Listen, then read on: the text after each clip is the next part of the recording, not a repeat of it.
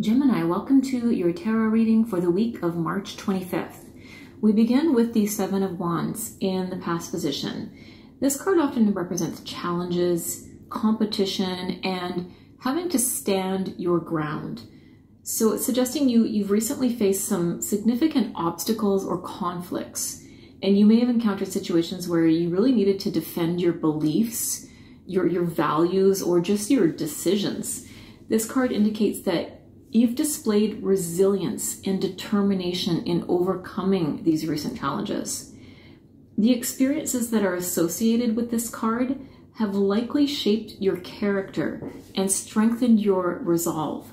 So, even though this might have been quite a challenging situation for you, you came out of it realizing even more strongly than before how dedicated you are to your principles, to what you believe in. Whatever this was, it's heightened that for you.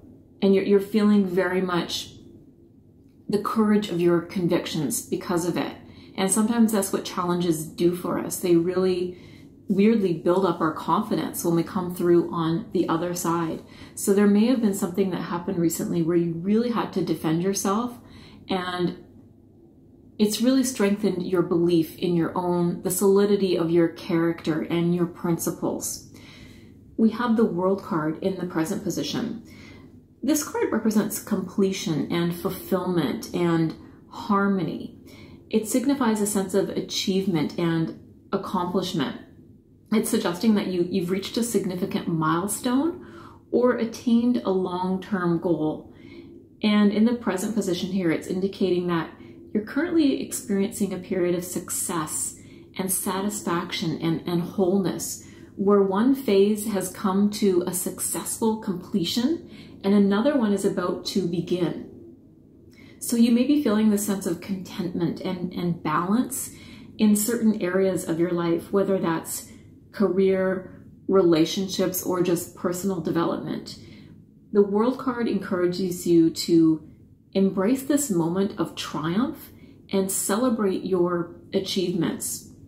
So I think there's something to do here with something you've had to defend yourself on. And it could be something even something like defending your thesis or something like that, where once you've successfully done so, that brings you to a successful completion of your degree, your master's degree or, whatever it might be. So that, that might be the case for some of you that you are currently bringing something to an end where you have to work quite hard on it and defend yourself in one way or another. That's coming to a very successful completion for you, and that's bringing out about the end of this phase, and a new one is about to begin for you. We have the judgment card in your future position. And this really makes sense following this world card because judgment is all about new beginnings, second chances, and, and kind of an awakening of the spirit.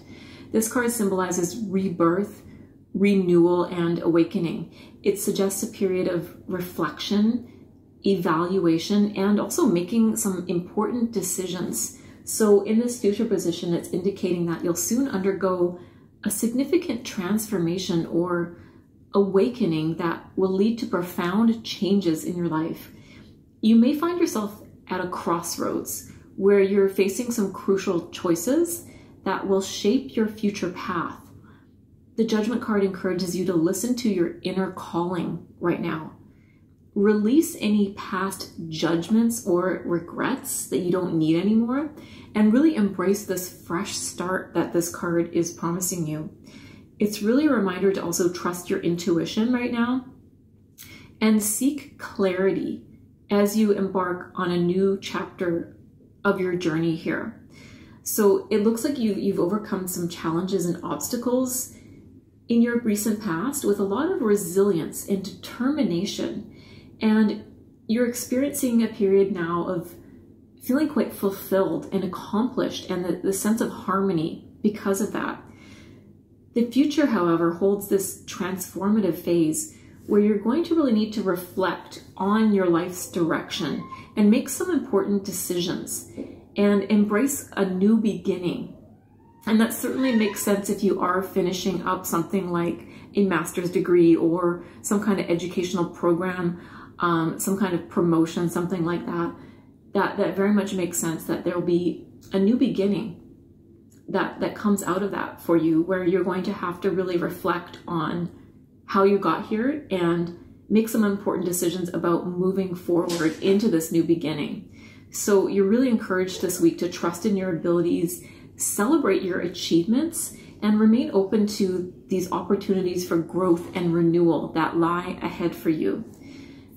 At the bottom of the deck, we pulled the Ace of Swords as your clarifying card for this week.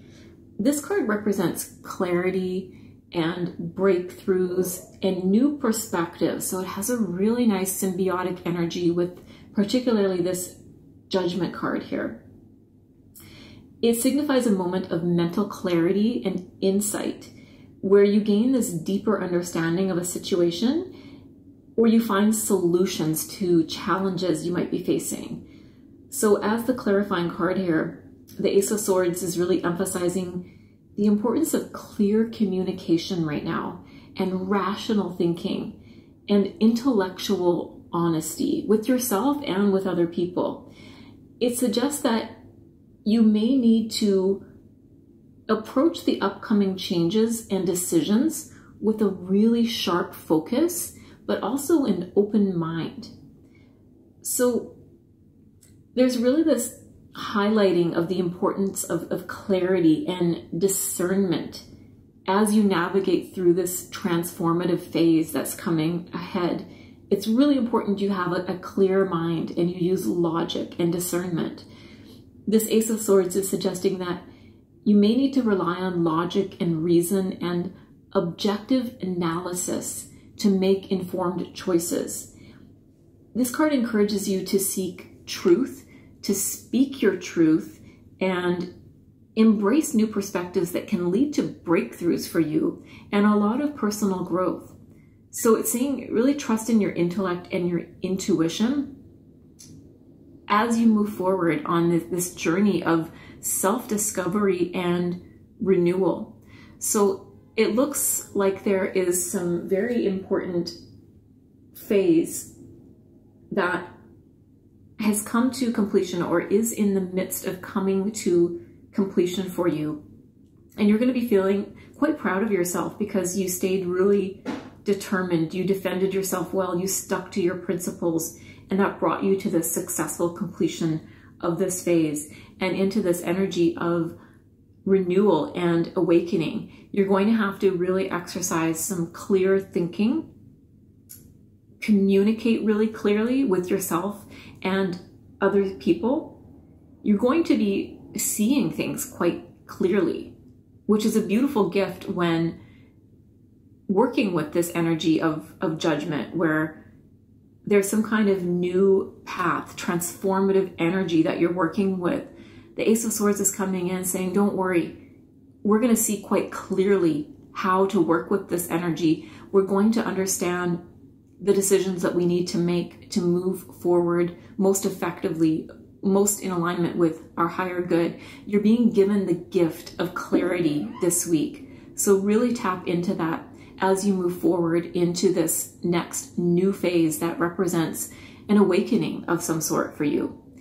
So that is your reading for this week. I hope you enjoyed it.